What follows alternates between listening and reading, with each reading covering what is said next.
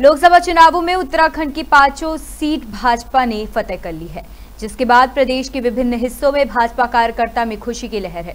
इसके तहत ही कर्णप्रयाग में भी भाजपा जिलाध्यक्ष रमेश मैखोरी के नेतृत्व में भाजपा कार्यकर्ताओं ने जीत का जश्न मनाया। साथ ही सभी भाजपा के कार्यकर्ताओं ने आतिशबाजी कर एक दूसरे को मिठाई खिलाकर जीत का जश्न भी मनाया। इसी दौरान भाजपा जिलाध्यक्ष रमेश मैखुरी ने कहा कि चमोली ज़िले की तीनों विधानसभाओं से भाजपा को रिकॉर्ड मतदान हुआ है। तो वही कर्णप्रयाग विधायक अनिल नौटियाल ने कहा कि भाजपा सरकार के विकास को जनता ने अपना समर्थन दिया है। चमोली से संदीप कुमार की रिपोर्ट।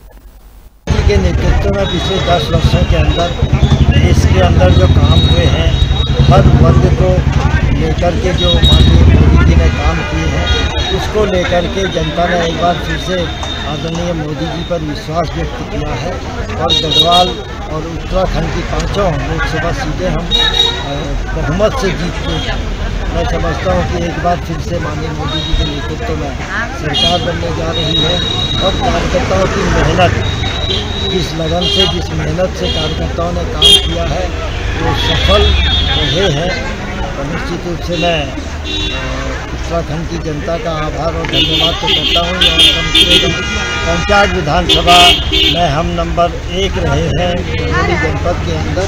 इसके लिए मैं भी पंचायत विधानसभा की सभी युवाओं को, महिलाओं को, बुज़ुर्गों को माता बहनों का और कार्यकर्ताओं का आभार और धन्यवाद व्यक्त करता हूँ। माननीय मोदी जी की विकास की सोच जिस प्रकार से पूरे उत्तराखंड का विकास हुआ है और उनकी नीतियों के चलते ही भारतीय जनता पार्टी, जनपद चमोली के कार्यकर्ताओं की लगन, मेहनत और कार्यकर्ताओं के आपार सहयोग के साथ साथ जनता ने जिस प्रकार से इस चुनाव को लड़ा, निसंदेह गढ़वाल की हमने भारी बहुमत से विजय की पताका फहराई है। साथ ही जनपद चमोली में हम पूरे गढ़वाल मंडल की चौदह विधानसभाओं में से तीनों विधानसभा लगभग पैंतीस हज़ार के से अधिक मतों से हम जनपद चमोली से जीते हैं। मैं एक बार पुनः जनपद चमोली की भारतीय जनता पार्टी के कार्यकर्ताओं का और सभी मतदाताओं का आभार व्यक्त करता हूँ।